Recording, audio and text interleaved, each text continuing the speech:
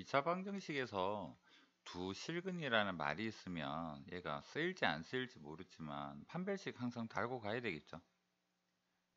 이거 빠뜨려서 함정에 빠질 수도 있으니까.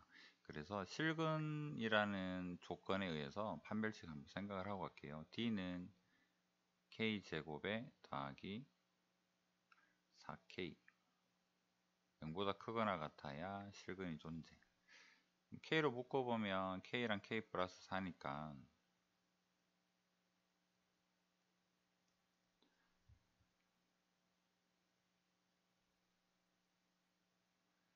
자 이거 생각을 해두고 그 다음. 얘는 양수고 양수죠 절대값 덕분에. 그러면 두 번째.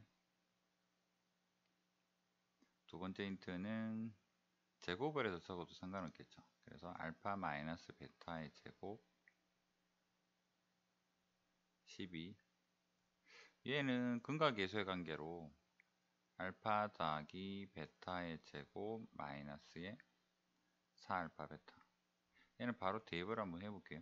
알파 더하기 베타는 마이너스 k죠.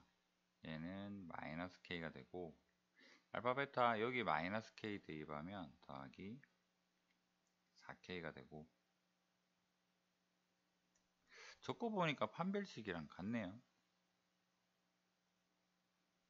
그 다음에 얘가 2루트 3 제곱했으니까 12죠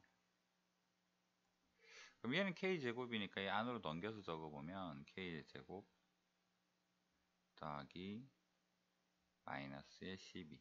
얘 인수분해하면 k 플러스의 6, k 마이너스의 2 가 0보다 작거나 같다 이렇게 되죠.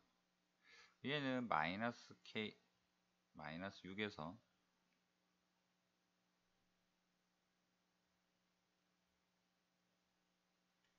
이까지 적고 보니까 얘랑 얘랑 비교를 해보면 실근이라는 존재가 의미가 생기죠.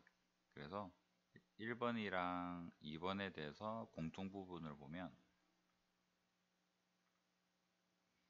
마이너스 6 이거나 0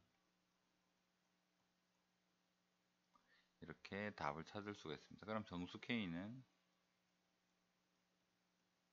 마이너스 6, 마이너스 5, 마이너스 4, 0, 1, 2 개수 물어봤으니까 6개